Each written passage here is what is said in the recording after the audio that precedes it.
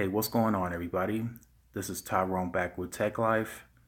And Apple's keynote ended a little over two hours ago, and I know you guys have been waiting for this video. So within those two hours, I did a little more research. I talked to a few people. So the Apple iPhone 8, 8 Plus, and 10 iPhone X will not support T-Mobile's Band 71. This what you're seeing on the screen is directly from Apple's website so that was the first announcement that I wanted to make. The second one was it will not support gigabit LTE from all the documents that I've looked at and some of my buddies looked at as well. It does have higher end modulation, but it caps out at 64 QAM, so it will not do 256 QAMs. And it does not have the radios and antennas inside the phones to do 4x4 MIMO. So that's the second announcement that I wanted to make today. So, but there's one good thing. It will support band 66. So T-Mobile, AT&T, and Verizon that have in certain markets have band 66, AWS3. They will be able to make use of this. In my market, I have I think band 66 on Verizon and T-Mobile, AT&T. I'm not quite sure. I will look into that.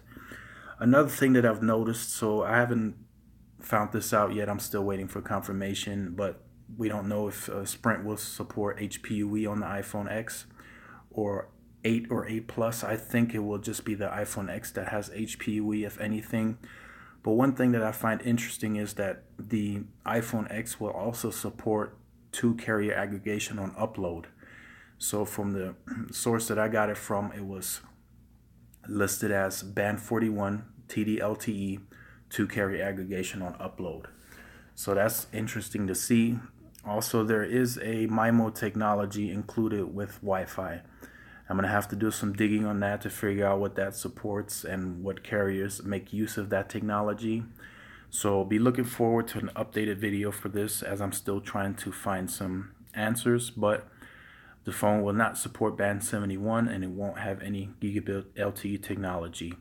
Now, I've seen a lot of you guys in the comment sections in the past few weeks saying that you were you weren't expecting Apple to have this on board, but for the price tag of $999 for the X, and that's a 64 gigabyte model, I think, and everyone is calling it the smartphone of the future.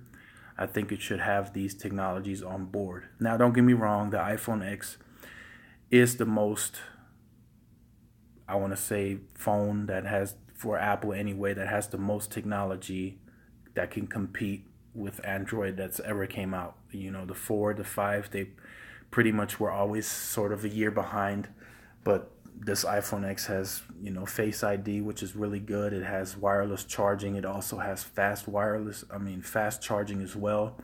So that those are some good features to have and it supports an OLED display, so really good really good technology on this new iPhone but the modem is, is behind and I've already seen comments on a few people that are getting ready to switch to an Android phone that supports gigabit LTE. So let me know in the comment section down below if this is a shocker to you or were you already expecting Apple not to support any gigabit technologies.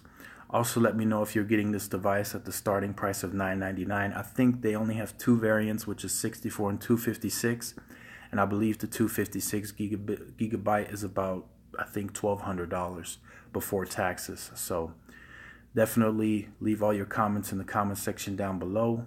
This is Tyrone with Tech Life, and I will see you guys in the next video. Peace.